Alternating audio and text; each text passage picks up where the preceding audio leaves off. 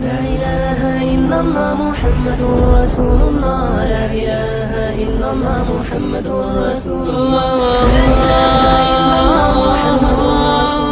کچھ لوگ فطری طور پر عقل مند ہوتے ہیں، کچھ چالاک ہوتے ہیں۔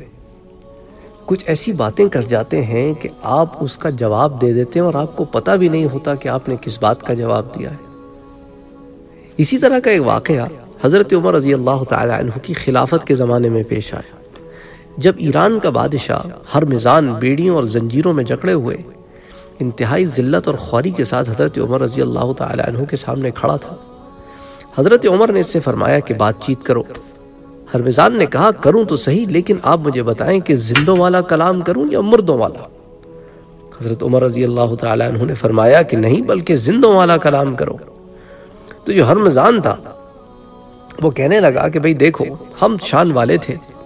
تم جاہلیت میں تھے۔ نہ ہمارے لیے کوئی دین تھا اور نہ تمہارے لیے۔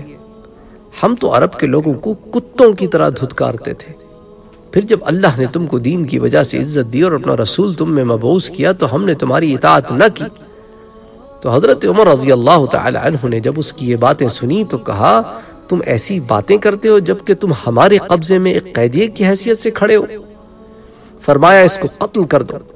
تو ہر مزان نے کہا، کیا تمہارے پیغمبر نے تمہیں یہ تعلیم دی ہے کہ قیدی کو امن دے کر پھر قتل کر دو؟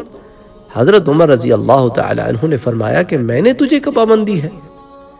رمضان نے کہا کہ ابھی تو آپ نے مجھ سے کہا کہ زندوں والا کلام کرو، جس کو اپنی جان کا خطرہ ہوتا ہے وہ زندہ نہیں ہوتا۔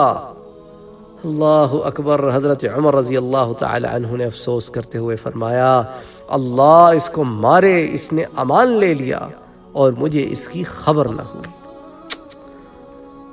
اس واقعے کو امام بحقی نے السنن میں روایت کیا ہے۔ علاوہ ازیں اس کو حافظ ابن کثیر البدایہ والنہایہ میں روایت کرتے ہیں۔